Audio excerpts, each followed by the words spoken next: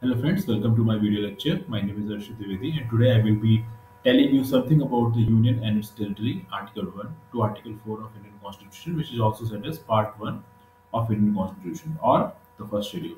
So what's there in the first schedule? Let's have it. Now this Indian Constitution, it is the longest written constitution of the world. We know it. It was crafted by the Constituent Assembly with Dr. B.R. Ambedkar as its head Now we know that constitution of our country is the highest form of law. ये सबसे बड़ा सबसे बड़ा नियम है India का सबसे बड़ा कानून है इंडिया का Even the parliament cannot override it.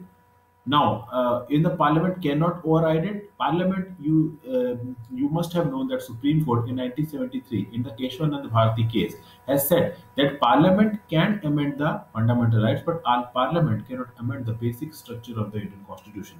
So this line, even the Parliament cannot override it, means that Parliament cannot amend the basic structure of our Indian Constitution, and that basic structure of Indian Constitution has has been displayed by Supreme Court in different judgments, like in the Minerva Mills case and in many more judgments that we will discuss later on. So, Parliament cannot override the Constitution, but Parliament can definitely make amendments to the Constitution. Now, before the Constitution was adopted, now it was known that India was known as the Union of India. Before the Constitution was adopted, we were known as Union of India. Now, before understanding what's what is this Union of India, what does this phrase Union of India signify, we can say that on 26th of November 1949, the country became Republic of India. Why? Because on 26th of November, it is the Constitution Day. Signatures were appended to the Constitution, but formally it was started from 26th of January because 26th of January was uh, declared in the 1930 Lahore Congress as the Independence Day. So that's why 26th January formally the Constitution uh, was adopted, but signatures were appended to the Constitution on 26th of November. So Constitution Day is 26th of November, not 26th of January. Now, this Constitution replaced Government of India Act 1935 and it became the country's fundamental governing document. It is the country's fundamental governing document we very well know it. We celebrate its acceptance every year on 26th of January. Now coming next.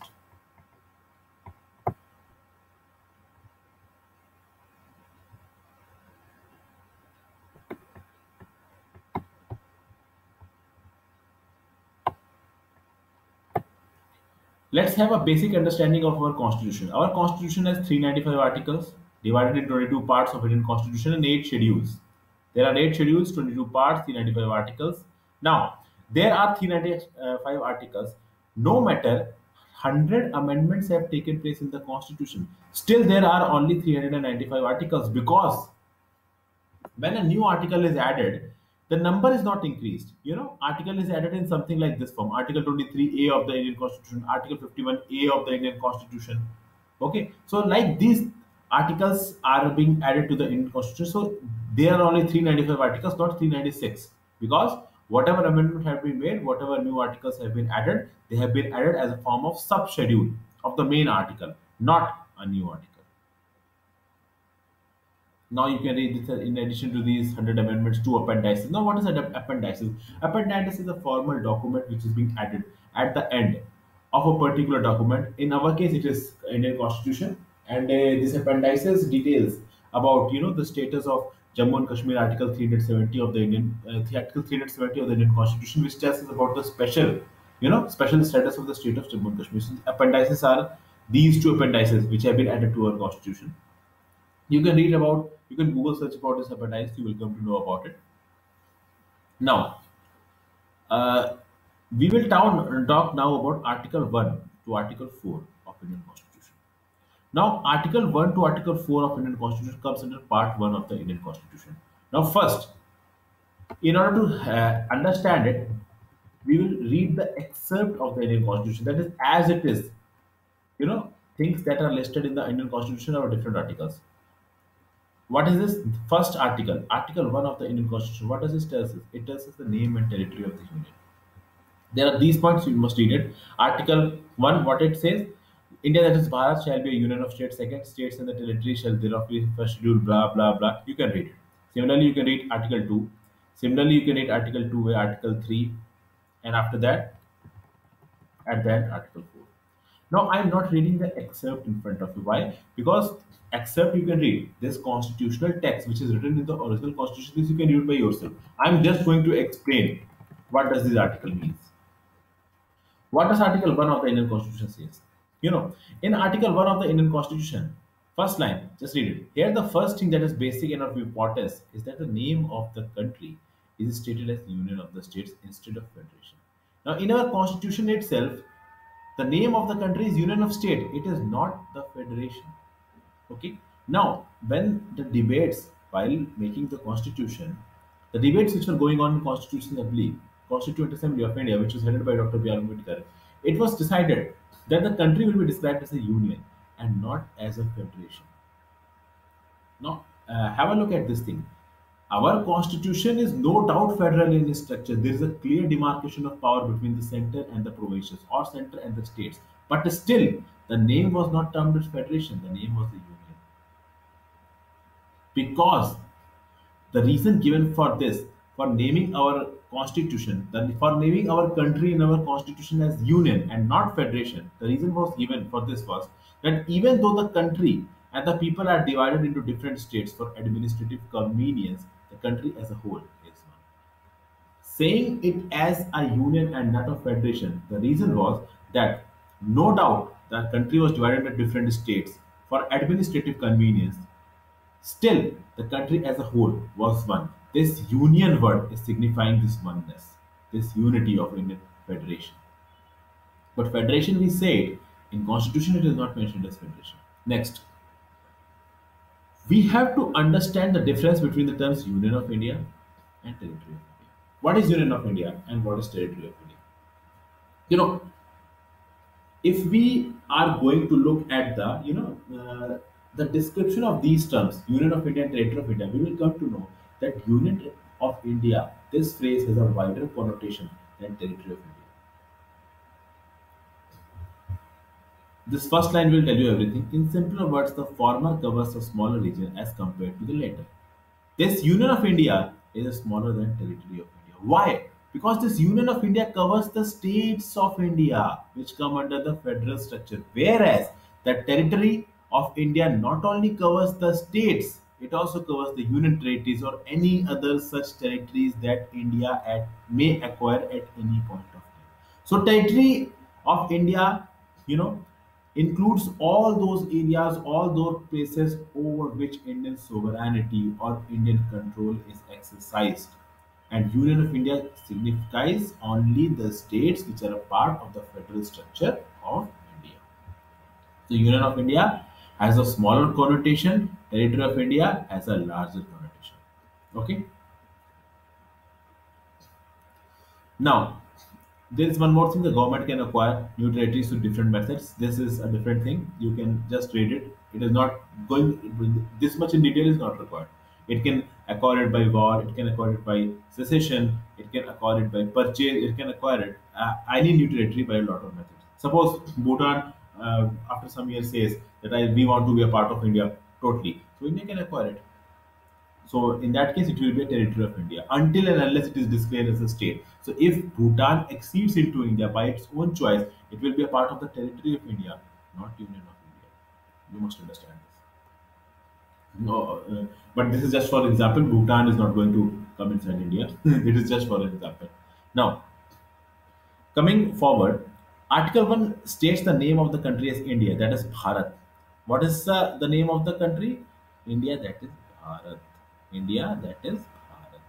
It is a name. What is the definition? It is Union of India, not Federation.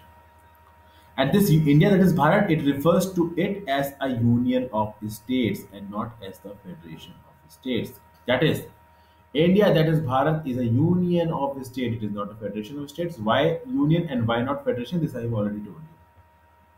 Okay, now this article refers to a list of the union territories and states or any other acquired territories which are included into the first schedule of the constitution. This article 1 tells us that how many, which states, which union territory or which other territories are a part of the Indian constitution. This is the sole purpose of this article 1.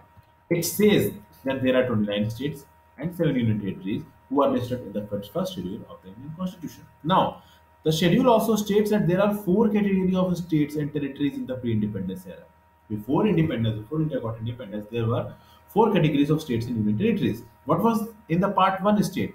In the part one state, there were nine provinces that were totally under the British rule.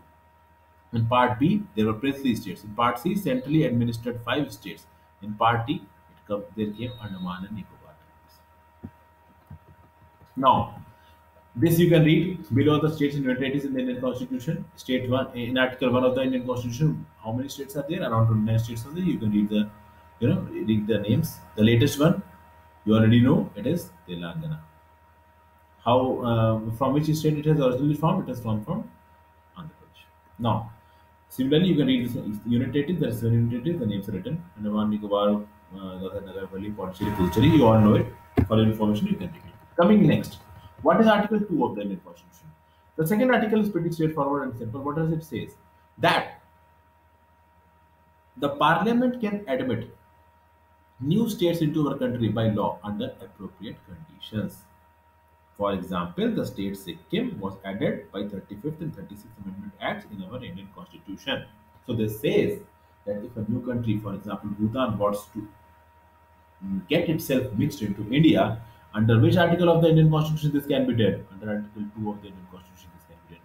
This article was used eh, to include Sikkim into our Indian Constitution through the 35th and 36th Amendment Acts. Coming next, Article 3 of the Indian Constitution. This is very important. This is the main article of, this, of all the four, of all the United States territory. Article 1 to Article 4, Article 3 is the most important. This article concerns the change of names, boundaries of a state. Actually, this is the article from which most of the questions will be asked. Any area of a state can be increased or decreased, but no part can be acquired by a foreign state country. What does this says? That area of a state can be increased or decreased, but it cannot be acquired by a foreign state country. So the bill to achieve this cannot be introduced in the parliament in either of the two houses except with the recommendation of the parliament. This says that until and unless the president has recommended the change of name or boundaries of a state, this bill cannot be introduced either in the Lok Sabha or in the Rajya Sabha.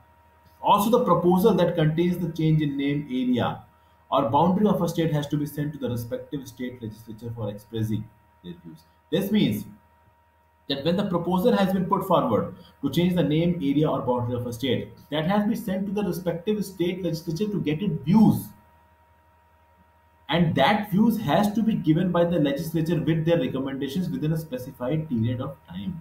But whatever recommendations or views that have been given by that particular legislature of whose names or boundaries are being changed its recommendation will only be an opinion.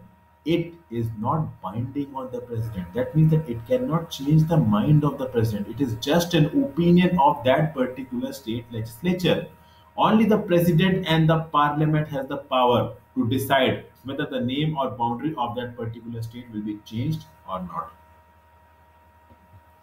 this is what it is written here. See, that means that the opinion of the state legislature is not binding on the president or the parliament and thus seeks to know the will of the people of the state, as the state legislature is comprised of that state people's. This means that before you know changing the name of a state or changing the area of a state, boundary of a state, adding two or more states, whatever you are doing, you just refer it to the respective state legislature assembly because we want to know what the people think about that step of the parliament and why it is sent to the legislature because that legislature represents those representatives who have been directly elected by the people of the state. That is why that bill is referred to the assembly or the legislature of that particular state. Now it depends whether that legislature is bicameral or unicameral, that is a different thing. Now, what can be done under Article 3 of the Indian Constitution? First, a new state can be formed either by uniting two or more states or by uniting a union territory with a state or separation of territory from any state. Okay? Increase or decrease the area of existing state. We can also increase or decrease the area of any existing state. We can also change the extent of the boundary of any state and we can also change the name of any state. You uh, kindly note that name of any state is also very much importance. Name is a big issue nowadays. Coming forward, Article 4 of the Indian Constitution. What does the Article 4 of the Indian Constitution?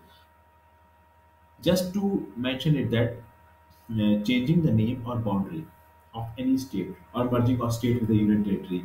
This says that if this is being done by the parliament, it will not be covered under Article 368 of the Indian Constitution.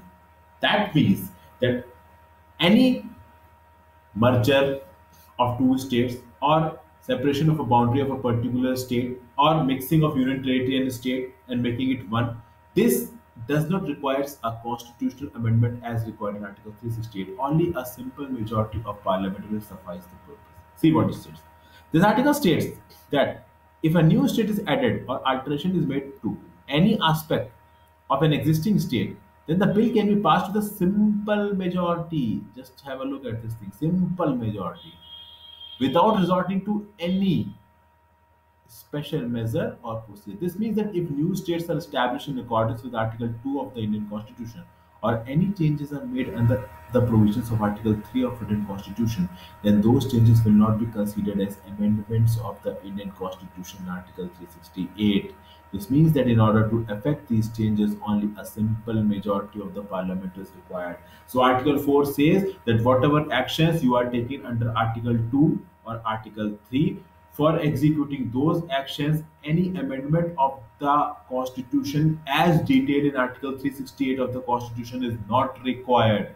Only a simple majority of Parliament will do the purpose, will complete the purpose, will suffice the purpose. So I think friends, Article one, 2, 3, and 4 are very much clear to you. If you have doubts, you can ask in the comment section below on my YouTube page or even on my blog page. I am very much welcome to your doubts and as far as possible, I will try to. Thank you for watching this video. Thank you for your